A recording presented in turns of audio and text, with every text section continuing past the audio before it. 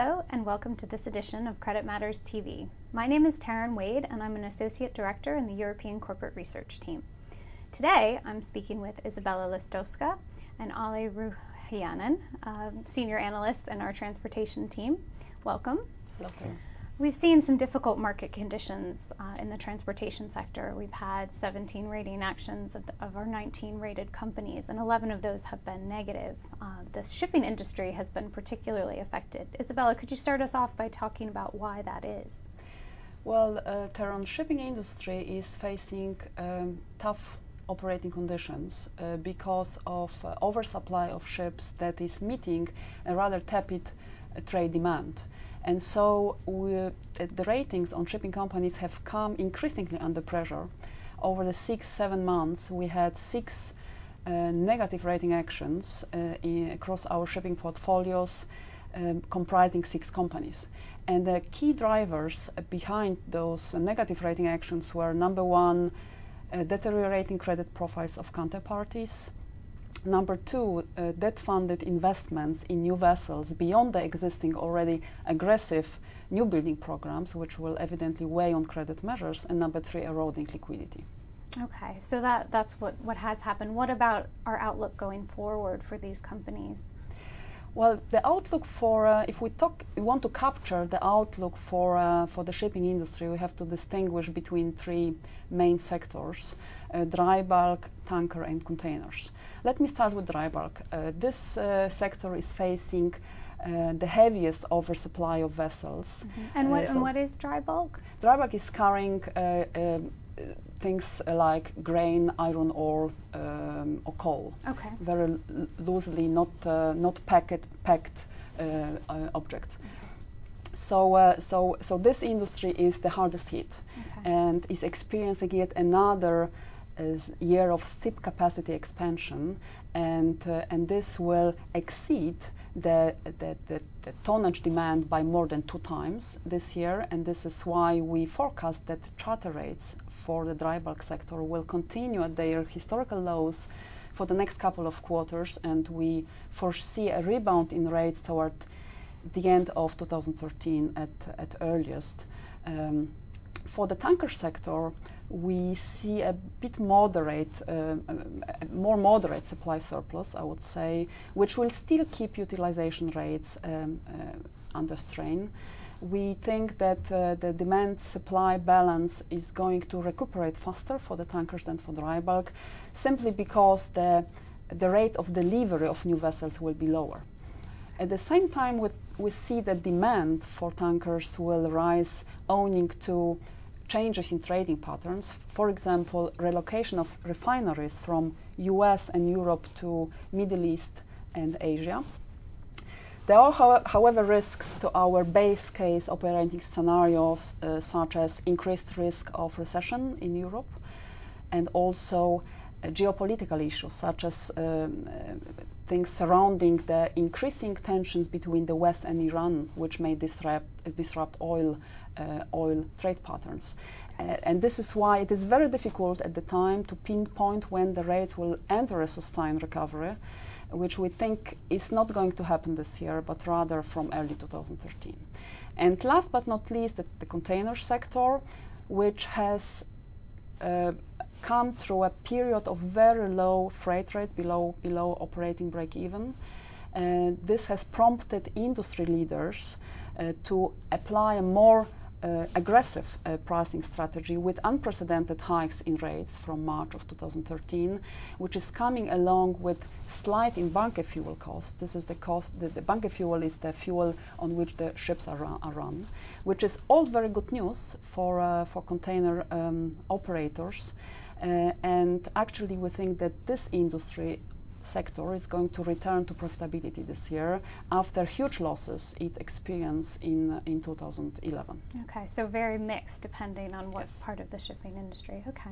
Um, turning to airlines, um, Olli, could you talk a bit about how our uh, rated portfolio has actually fared better than the industry recently? Why is that? Well, I think the, the airlines we rate, mainly Lufthansa and British Airways, um, have strong market positions in, in their hub airports uh, with limited low-cost uh, competition, and that has really allowed them flexibility in pricing. Um, also, the premium travel uh, has been holding up quite well despite the economic weakness, uh, which is a key profitability measure for the um, network carriers. Okay, so um, so what about going forward, though? What are what is our forecast for operating profit for, for companies in the sector? Yeah, we feel that the, the airline sector, similar to shipping, will be under pressure 2013, 2012, and 2013, mainly driven by you know sluggish overall uh, price, ticket price increases, uh, which are on the other hand completely eaten away by significant cost increases. We see jet fuel trading at very high levels. Um, the, the network carriers have been benefiting that from uh, from the hedging arrangement in 2011 and, and early 2012. But as we go onwards, those uh, legacy hedging transactions are actually going to be uh, dropping off and replaced by this more expensive contract. Which and, and as oil and jet fuel are the, the kind of key operating costs of airlines, that's going to be pushing pressure. Um, the airlines are taking some action. Uh, they can't do much on the on the fuel side uh, to counter that. Um, but they are trying efficiency gains from labor. But we still believe that uh, operating profits could be down by as much as 20% in, in some carriers. Okay. Uh, let's talk about funding uh, for these companies. obviously, in both of these sectors, very um, asset heavy. Um, they need to rejuvenate their fleets quite often. With banks, um, the relationship with banks, I mean, how is their access to capital well, we observe that uh, bank funding for shipping assets is uh, becoming increasingly scarce, expensive, and of shorter tenure.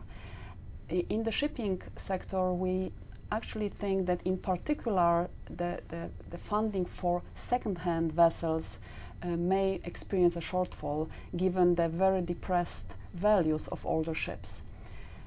In general, we can say that uh, shipping banks will uh, will likely continue reducing the exposure to the shipping uh, industry. In June, for example, Societe Generale has uh, sold the vast majority of its portfolio, shipping portfolio, to Citigroup, and Commerzbank has taken even a more radical decision to end, to, to exit completely uh, ship funding. And this has obviously raised concerns uh, from uh, industry experts that other banks may follow. What's more, the alternative uh, funding sources, such as uh, equity markets or bond markets, appear to be very limited at this stage. At the same time, we think that uh, as banks are being increasingly selective as it comes to, to, to, to funding, uh, operators shipping operators uh, with good track records, with, uh, with uh, solid charter profiles, with balanced order books will be able to obtain funding for new vessels or refinance. Okay. And, and what about transportation? Uh, in terms of the airlines, uh, we see very similar trends. The, the, the, kind of most common way of financing um, aircraft is uh, through either finance leases or operating leases. Um, and especially the finance lease side has seen dramatic reduction in, in volumes. Uh, we, we have seen some European banks withdrawing completely, um, although there is still a market in Asia, so um, some of the rate carriers have been able to access the, the Asian uh, kind of finance lease markets. We we have also noted that there has been a, a diverse, div kind of divergent uh, between some of the network carriers. Uh, Lufthansa was able to issue a, a bond um, in the US earlier this year, uh, although it, it's a kind of semi-convertible bond. And BA announced today uh, its um, uh, plan to issue a secured bond secured on, the, on Heathrow landing slots.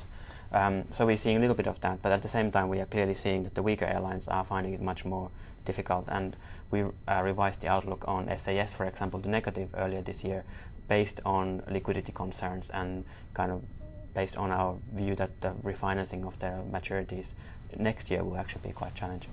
Okay. Well, thank you both for joining us. It's been very interesting. This concludes this edition of Credit Matters TV. Thanks for joining us.